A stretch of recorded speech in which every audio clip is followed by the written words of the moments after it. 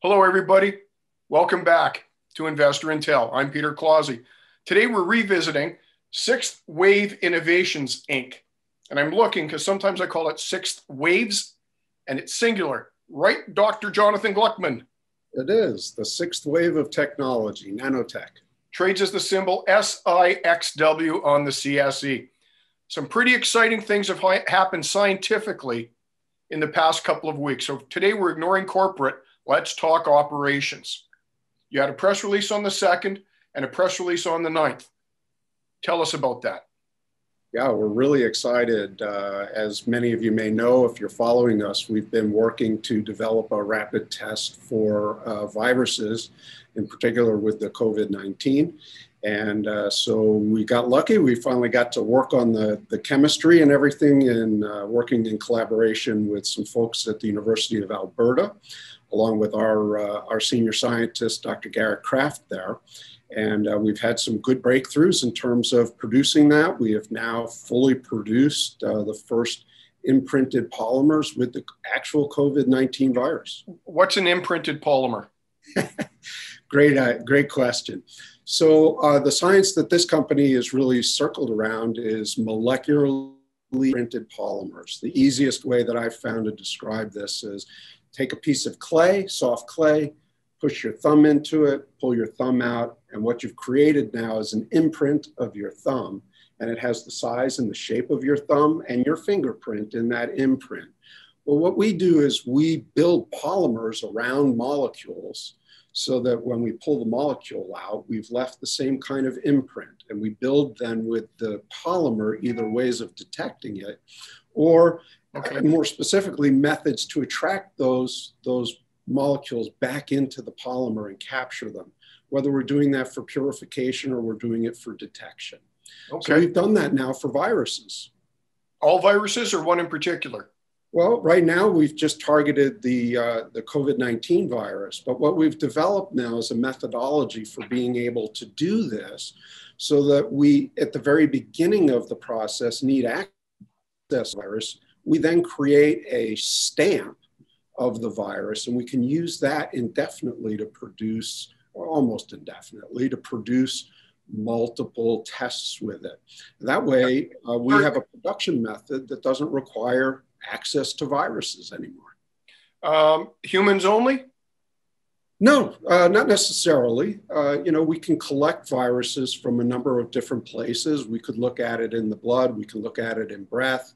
Uh, in fact, we're working on a project with um, uh, with uh, CTRI and York University to develop this for airborne detection of, uh, of viruses.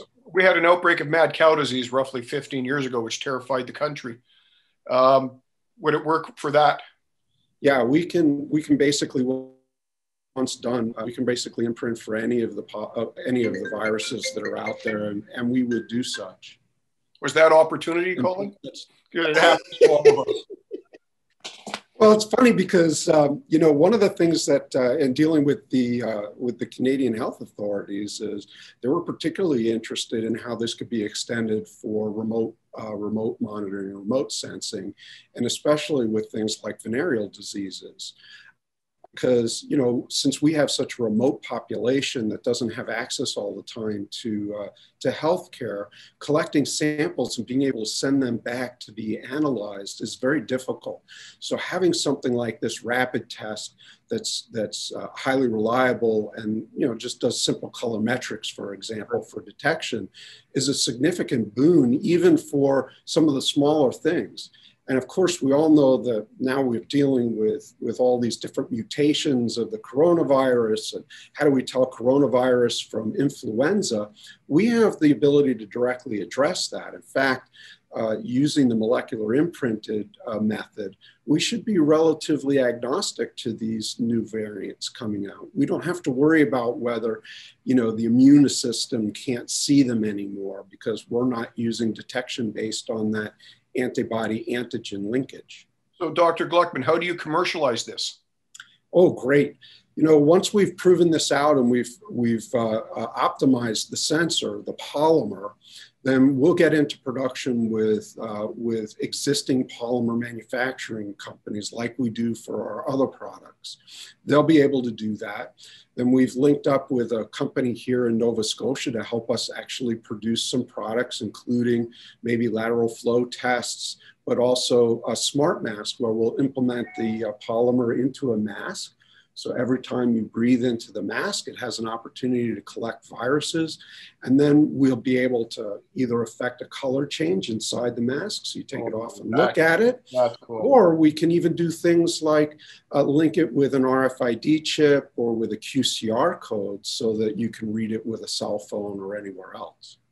So is your customer companies, government, or retail individuals? Uh, actually our target is all of those. You know, the, the you know one of the barriers to entry rapid tests for the consumer has been a, um, a, a, reluctance for the government to approve these tests because of reliability and the need to control how samples are collected. Uh, when you're just picking it off the breath, um, we don't have to worry about that as a user error that might uh, lead to wrong results. So we, we really view this as a way of people being able to, you know, buy a mask, give it to your kid, they get to wear it for a week. Of course, course it gets you know you know uh, uh, infected but you know it can be tested before they come into school every day and looked you know somebody just looks at the mask yep it's all good. Kid goes into school comes home. This would be something that could sell for a few dollars so it doesn't put people out of you know on the on the streets by having to be uh, you know having a test that they can use every day for themselves and their children the same as with uh, sporting events and travel. Uh, you know, if we can get it into that kind of simple format and at the right right price point, then you know, doing widespread testing and connecting that directly with contact tracing is going to be relatively simple. So what's next? You've had two very interesting press releases. What's yep. next? Yeah, well, the diagnostic work is starting now to uh, look at the sensitivity and selectivity uh, elements of the polymer that we've made. Uh, we'll have more data on that in the upcoming weeks. And uh, hopefully, we'll be uh, starting to approach and achieve the same kinds of sensitivity as uh, the PCR tests. or even better. And then as we do that, we'll be starting to engage with the manufacturing partners that we want to, to work to commercialize that with a, with a little bit of luck and the right funding, uh, you know, we should be able to uh, be launching some products late third quarter, early fourth quarter. Fantastic. So we'll be talking late third quarter, early fourth quarter. Uh, or if we do breakthroughs before then, I hope before then. Thank you for the education, sir. Sure. My pleasure. Dr. Gluckman from Sixth Wave SIXW on the CSE. I'm Peter Clausi saying goodbye from Investor Intel.